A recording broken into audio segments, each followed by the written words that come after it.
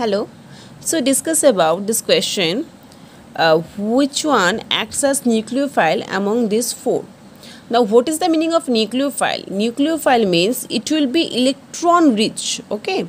It will not be electron deficient. If it's already electron deficient, it cannot donate electron, right? But in case of BF3, it is 6 electron molecule electron deficient.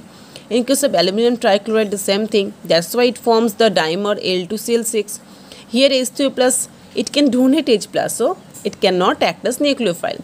But the fourth option it is Grignard reagent ethyl magnesium bromide. Suppose I am taking this ethyl as a normal alkyl R.